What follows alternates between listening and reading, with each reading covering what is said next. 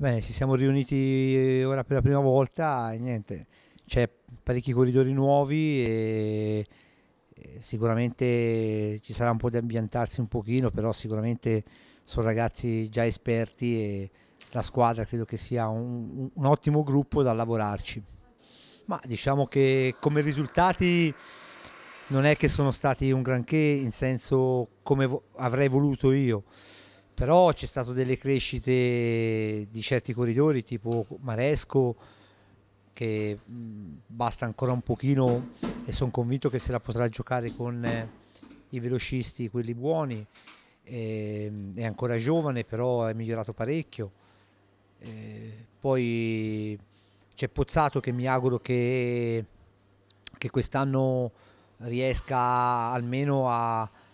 a gestire la condizione come la seconda parte della stagione. Eh, anche se non sono arrivate le vittorie, la seconda parte della stagione mi è piaciuto molto,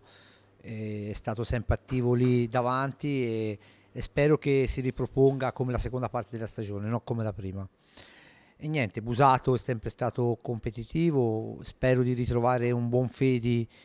dopo i suoi problemi fisici, un buon Fedi, abbiamo dei ragazzi giovani i due spagnoli, Amescueta e Rodriguez, abbiamo due colombiani giovani, sia Martinez e Flores, che ne parlano tutti un gran bene e hanno dei grossi numeri.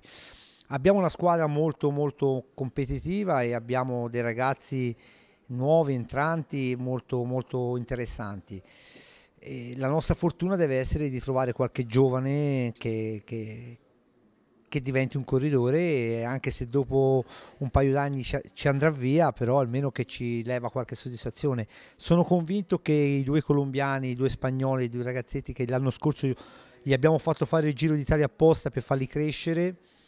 e che quest'anno sono convinto che un passettino in avanti lo possano fare anche loro. Sì, è stato di qualità. Dobbiamo pensare che sono ragazzi di 20 anni 21 Martinez ha ha compiuto 19 anni, l'anno scorso ha fatto il Giro d'Italia a 20 anni e ci vuole anche il suo tempo. Mm, essendo, essendo, giovani hanno tutto il tempo per diventare, qui hanno la possibilità di andare a fare anche delle corse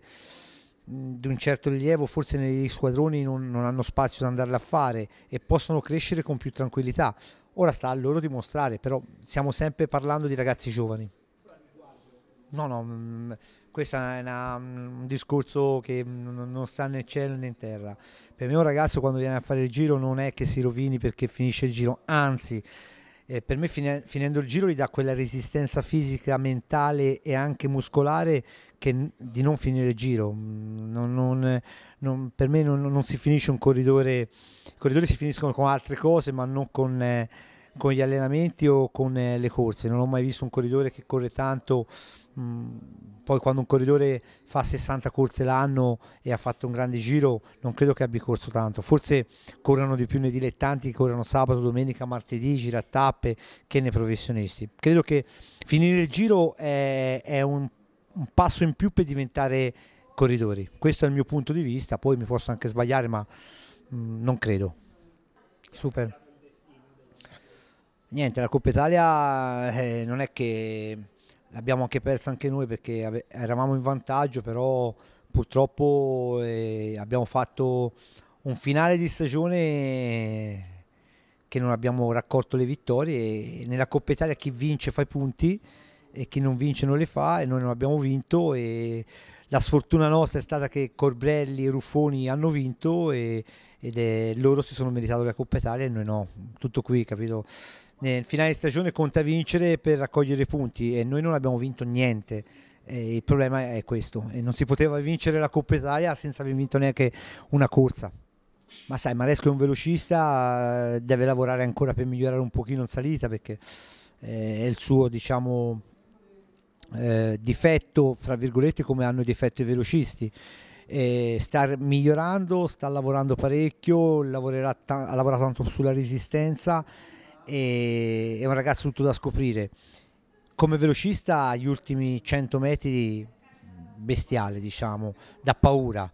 Abbiamo visto anche in Turchia quando ha battuto Greipel, eh, però deve ancora migliorare sulle, grandi, sulle distanze, su percorsi un po' meglio impegnativi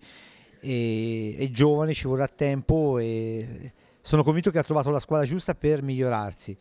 Poi sta a lui se scegliere poi in futuro eh, di fare un passo nelle Pro Tour, però io credo che un velocista come, come mi insegna il tempo indietro, qualcuno che è andato via da me, gli avevo detto di aspettare per migliorare, per me sono ottimi corridori, però non, non, non hanno fatto quel salto che dovevano fare. Eh, io spero che Maresco, un ragazzo intelligente, aspetta il suo momento e poi quando deve decidere il suo futuro migliore lo deciderà quando è pronto. Giro, se arrivasse la wild card vorrei un Giro Italia non come l'anno scorso, questo è logico, vorrei un Giro d'Italia da squadra combattente e senza farci tante illusioni perché noi siamo una squadra piccola e, e lottiamo con i squadroni. E se vai a vedere la Sky, vai a vedere la Stana, vai a vedere la BMC, vai a vedere l'organico di questi squadroni qua, sono da fa paura. E noi bisogna avere la fortuna di correre con intelligenza, buttarsi nelle fughe e avere la possibilità di, di vincere una tappa eh, e farsi vedere e essere sempre là davanti per fare vedere il nostro marchio, la, la, la, nostra squadra, che abbiamo due sponsor importanti, due sponsor italiani che investono nel ciclismo, sia la Wheeler e la Sell Italia, io credo che sia la cosa migliore per farsi notare. Poi andando in fuga c'è la speranza di, di poter vincere una tappa. Ma no, classifica, non, non credo. Abbiamo preso Cocio Voi che per me è un ragazzo molto interessante che viene dalla Lampre e può provare nelle tappe in salita a rimanere con i primi, però eh, con, eh, con